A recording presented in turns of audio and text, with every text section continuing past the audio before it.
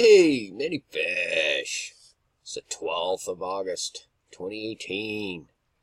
Hope everybody's doing well. Uh, my attention has been turned to more immediate things here, so it's harder to get in here and make a video and share it with you guys. It's just uh, the way it is, you know, but things are still happening at breakneck speed, I can tell you that and I was led uh, during this past week. It was is it was an interesting week. Let's just put it that way. Okay. Um, but I had these words in my mind earlier in the week when I woke up one morning, and it was uh, to do with Rome and Egypt and the spoils and captivity. And this, these are the words that have been mulling around my head all week long. And uh, I've just been studying and looking into these matters and seeing if I could put together what it was talking about. And it led me to several things. And I just want to share one aspect of it with you this morning because I feel it's important that these things are basically becoming revealed to us now. Okay? And it has to do with Paul, the apostle. Uh, soon after Christ's death and resurrection, he's preaching in Jerusalem, and the Jews now want to kill him. Okay, so he seeks uh, the audience of the governor so that he's not killed. He's being falsely accused by the Jews, and they lay in wait for him. So they send him off to have an audience in front of the governor, and the governor is in Caesarea. All right. Now this is just weird how this stuff comes to me, but what this is all showing is literally the captivity of Israel by Rome, who is Egypt. Rome is Egypt. That's, that's all there is to it. Modern day Rome is ancient Egypt, only they have kept it all in the dark, and most of it is right in front of the world to see, but they don't perceive it. Now, the world is beginning to be able to perceive these things. Praise God. And what it led me to was the strangest stuff. Caesarea. It made me look for um, obelisks of all things. I'm led to these obelisks, right? Now we all know about the Vatican. I mean, they have Rome. Get a load of this. This is crazy, okay? Rome has 13 standing, authentic Egyptian obelisks. There are more erect obelisks from Egypt in Rome than anywhere else in the world, including Egypt. Okay? Caligula moved this one up there at, at tremendous cost to get these things here. And it's just a symbol of conquest, but not by these emperors and men, but by Satan. This represents the spirit of Satan, the spirit of Antichrist. These obelisks are a symbolic place marker for Satan to say, I have conquered, I have triumphed over you. And of all places that you would not expect to see obelisks, it would be Israel, wouldn't you think? Don't you think that the Israel people would reject Egyptian obelisks in their country? Uh, seeing how that that was who they were uh, brought out of captivity from? I mean, this is a big deal. And when they left Egypt, when, when the Israelites left Egypt, they left with spoils. Lots of spoils. Look at this. Exodus 3.2.2. But every woman shall borrow her neighbor, and her sojourneth in her house jewels of silver and gold, and raiment, and ye shall put them on upon your sons and upon your daughters, and ye shall spoil the Egyptians. They left Egypt with the spoils, right? And uh, Exodus 3 2 2 of all verses, right? And Paul is taken to Caesarea in Acts 23 23. This is just crazy stuff, people. And this is the obelisk in Caesarea, Israel. And I'll take you there on the maps because this is crazy. This is a authentic red granite one piece Egyptian obelisk. And it's erected out here in this field where no one can see it. There's no signs, there's no pathways, there's nothing to this thing. Let me take you to the uh, to the map here because this is just crazy. All right. I mean, what are these Egyptian obelisks doing in Israel? That's what I want to know. But anyway, there they are. And I'll bring you to that particular obelisk right now. And this has been there since the time of Christ.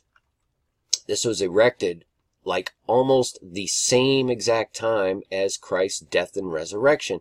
And you got to understand how important that is, okay? Caesarea, not Caesarea Philippi, Caesarea. And the area is even shaped like a Roman soldier's helmet right there. Look at that. That's what it looks like. But I digress. This is the main tourist area, which incidentally is being funded by with millions and millions of dollars by the Rothschild Foundation.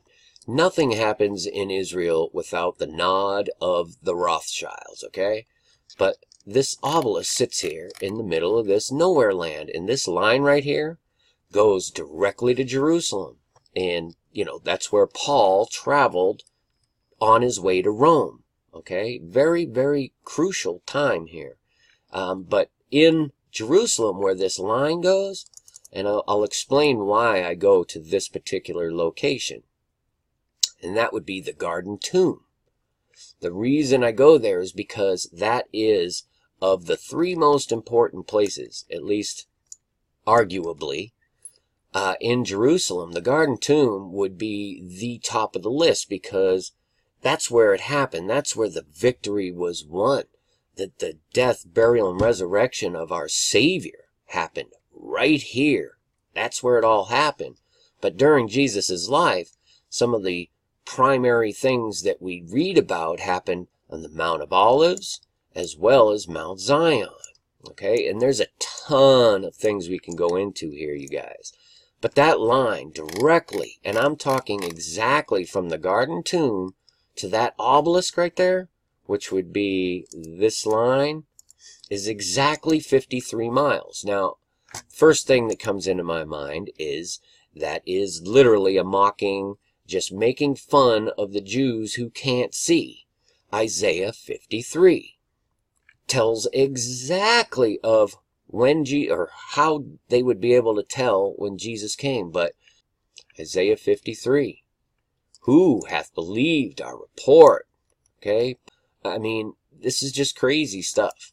But for that to be exactly 53 miles from the garden tomb to uh, this obelisk is insane. And this obelisk was placed, like I said, right at the time of Jesus' death and resurrection. Quite literally, like 33 years before the Romans sacked Jerusalem and take away the spoils all right? This is just crazy stuff. This line right here, this green line, this goes to the other obelisk in Israel. There's only two. And this thing is quite impressive. This is this is like a multi-million dollar memorial that they put up here for four Egyptian soldiers. That's it. Four Egyptian soldiers get this 30 some odd foot tall, solid red Egyptian granite obelisk built for them and placed in Israel and in all places in Ashdod.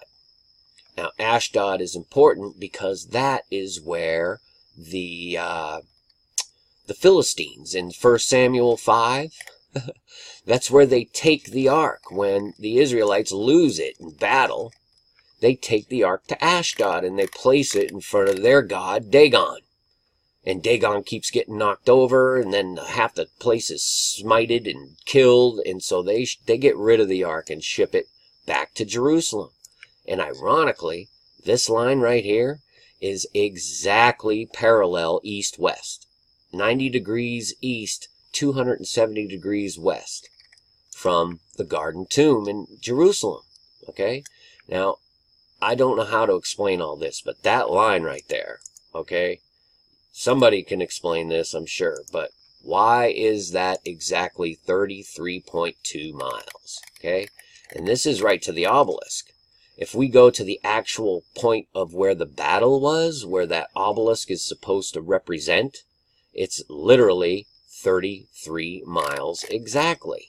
Okay, This is where the battle happened, right here, on this bridge. There's a bridge that used to exist here, and that's where the battle occurred. Exactly 33 miles from the Garden Tomb in Jerusalem at a heading of 270 degrees exactly. There's a reason for that. I don't know what it is. That's why I'm making the video. But I do know in my spirit that this is showing us something. This is Rome, aka Egypt, proclaiming Israel. That's what it is. And they've been doing it all along in the dark. The Jews who say they're Jews but are not. And these two obelisks encompass the coastline of Israel that goes right through Tel Aviv where the Rothschilds were behind creating the state of Israel back in 48. And they held their little meeting in their Independence Hall here in Tel Aviv, right here. And there's an actual connection to the Garden Tomb from here, too. See that line right there? You can't make this stuff up, you guys. Exactly 33.2 miles precisely the same as this obelisk in the south in Ashdod. Same exact measurement right there. Okay? 53, 33, 33 to our obelisks and to our Rothschild Jews who say they're Jews but are, aren't. And so all I'm telling you is that this is illustrating the spirit of Satan that's been at work in the dark all along, being revealed, and it's showing me that Israel is going, once again, they are in captivity. They are in captivity by Egypt, known as Rome. I mean, this is the best I can do. And there's like millions of connections to this. I can't even begin to tell you how many connections there are to this entire thing. And just in Jerusalem alone, when we connect the three most important parts in Jesus' life in Jerusalem, this line perfectly dissects through the city of David. Well, the city of David is my contention where the temple actually stood, not on the Temple Mount. The Temple Mount was a, a Roman garrison, a Roman fort. This housed a legion of Roman soldiers, 6,000 men. That's what this was used for. When they're praying at the Western Wall, they're praying at the wall of a Roman fort. That's what they're doing. Because the real temple's in the city of David. Right down here. This is just crazy stuff, you guys. And for this all to connect to the tomb, to where the victory occurred, shows us that this spiritual war is still raging. And there are a lot of people being fooled right now that just don't see. So, you know, we try to help them see. This is this is really important in my spirit. And all it really does is say that, you know, you're in a spiritual war that you cannot win without the Savior, without the victory uh, that Jesus brought to the world right here. He did it all. He did it all. And all we need do is call on His name and believe on Him and he shows us the truth and proves the truth of him. You can't deny this stuff. How in the world did they end up getting these placed in in Israel? Look at this place. I mean, it's in the times of Israel for crying out loud. Look at it, it's even topped at the front, at the at the top of the uh, obelisk. High above on the face of the obelisk is the symbol of Aten, the Egyptian sun god. He was worshipped by Pharaoh Akhenaten. This early version of monotheism has been cited by Freud, we trust him, right, as the source of Hebrew monotheism. Can you, like, wrap your head around that? Ashdod, Israel, where the Ark of the Covenant was taken by the Philistines and then sent back to Jerusalem and right beneath where Christ was crucified is where the ark is. That's my firm belief. And that's the direct connection right there. And it will be revealed as a witness that the world cannot deny. But some will. Some will still deny. But that'll be quite a witness when that's broken out, huh? But I wanted to show you guys this stuff. This is just things that I've I've been shown during the week here, and uh, man, I just really just want to visit y'all. I'll link all this stuff. This is absolutely crazy, but it's true. It's real. I mean, you're looking at it. The Vatican, folks, Rome. Look at the title of this article. In St. Peter's Square stands ancient Egypt. That's right. You're looking at it. Spirit of Satan, right there. Look at that. Right in the middle of the pregnant serpent. The erect Osiris phallic. And it's really not anything that the world is told that they are. These are very powerful and they're placed very specifically at certain times and they're very powerful spiritual weapons of, of Satan's. You know, people need to reject these things. If if real Jews knew that these things were standing in Israel, don't you think they'd be up there saying, "Get this thing out of here. We don't want this abomination standing in our in our land. Get rid of this thing." That's what they would say. But they're not because it's the Rothschild types that are running the show. I mean, this is just the way it is.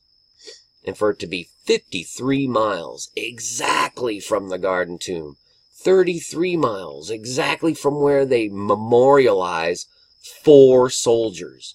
They built this memorial for four soldiers, just average, you know, infantry soldiers. They weren't generals or anything.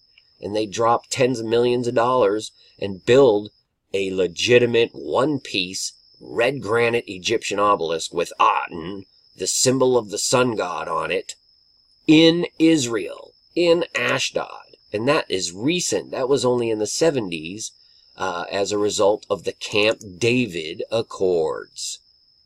Some of you might remember that whole situation.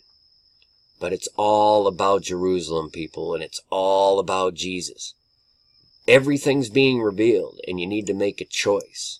Who will you serve? Okay? It's a very simple choice to make, but you need to make it because the time's coming where you're not going to have those choices to just freely, willy nilly make and contemplate. Okay? Because things are about to happen in this world that are going to blow your minds. So we can thank the Rothschilds, okay, for all our lovely obelisks that we now have standing in Israel where they ought not be. So I needed to share that with you guys. Wow, I went a little longer than I thought. Um, but I really just want to make sure that I just tell you guys, you know, that Jesus loves you. So seek Him, cleave to Him, and keep looking up. Always. Keep praying up. And definitely be armored up. Because the war is here. You need to be ready. Praise God. Seek Jesus. Y'all take care. Peace and grace to you. Many fish. Finally, my brethren, be strong in the Lord, and in the power of his might. Put on the whole armour of God, that ye may be able to stand against the wiles of the devil. For we wrestle not against flesh and blood, but against principalities, against powers, against the rulers of the darkness of this world, against spiritual wickedness in high places. Wherefore take unto you the whole armour of God,